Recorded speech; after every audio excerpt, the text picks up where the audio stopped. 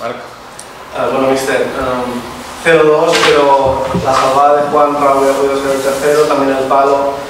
¿Cómo ha visto el partido? Porque al final sí que al principio era igualado, pero se ha decantado por otra parte. Bueno, buenas, buenas tardes a todos. La verdad es que, bueno, un partido, a ver, con mucha tensión por ambos equipos, al principio sobre todo. Eh, estaba claro que la situación de ambos no es cómoda, ni para el Atlético Baleares ni la de nuestra. Sabemos que era un partido que había que tener, yo había hablado con los jugadores, había que tener tranquilidad, teníamos que saber manejar el partido, porque bueno, al final, quieras que no, el primer tiempo, el línea 0-0 creo que ha sido importante, no se han generado muchas ocasiones de gol, ni por parte suya ni por parte nuestra. Y para nosotros ha sido, creo que lo más importante, porque luego el segundo tiempo, ellos quieras que no, intentan abrirse un poquito más. Nosotros, verdad, que hemos presionado mucho más alto, la salida de balón de ellos les hemos obligado a muchas veces pegar pelotazos, eh, al final eh, que no entrase en juego David, Rochina, eh, Pastrana, para nosotros era importante.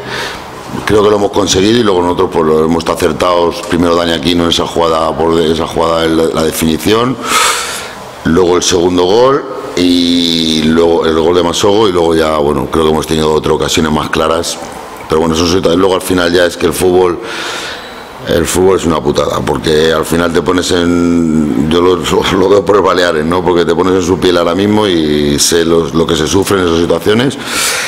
Y te pones con un 0-2, el equipo de fuera, es complicado estar en el campo y al final generan muchos espacios que nosotros, si llevamos a estar acertado, puede haber sido un resultado mucho más abultado, creo. Y sobre todo por lo que dice, ¿no? El segundo gol, cómo llega, que la pelota cae llovida y entra solo y remata ante la, bueno, es un saque de esquina, hay una segunda jugada, el balón está en el aire, Alex ataca muy bien el balón arriba y bueno, define bien en la portería. A ver, eh, es que el fútbol, nosotros eh, llevamos unos partidos que estábamos generando muchísimas ocasiones de gol y no entraba, no entraba el balón, creo que hemos, merecido tener más, mm, haber tenido otros resultados en otros partidos.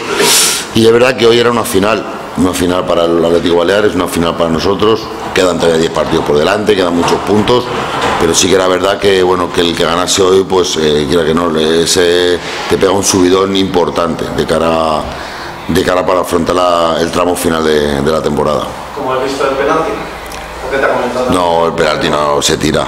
¿El penalti de Baleares? No, se tira seguro, vamos, se va a tirar seguro. No sé quién ha sido, ha sido el chico, el delantero, el, yo, pero yo creo que salta, aparte que el árbitro lo ha visto bien claro, yo creo que no. Vamos, a mí, desde mi manera de verlo, ¿eh? que a lo mejor luego lo veo repetido y veo que lo ha tocado. No sé, vosotros que estabais lo mismo lo habéis visto más claro. Que así que se desmarca y va a solo, que no tiene por qué tirarse. No sé, bueno, yo. No sé, es que los, los futbolistas saben que somos muy mentirosos a veces, ¿eh? O sea que, no, pero al final, oye, al final es una situación de partido en el que el árbitro bueno, ha decidido pitar, sacar esa tarjeta amarilla y bueno, son situaciones. Al final es un error nuestro, porque Carlos Blanco me dice que agacha la cabeza, les había dicho que tenemos que tener cuidado con el aire, porque igual que para el primer tiempo el aire era un poquito más a favor, el segundo tiempo era un poquito más en contra, esos balones frontales, eh, al final se frena el balón y al final pues esa situación se ha generado y bueno, por suerte para nosotros pues eh, hemos salido ilesos de esa situación.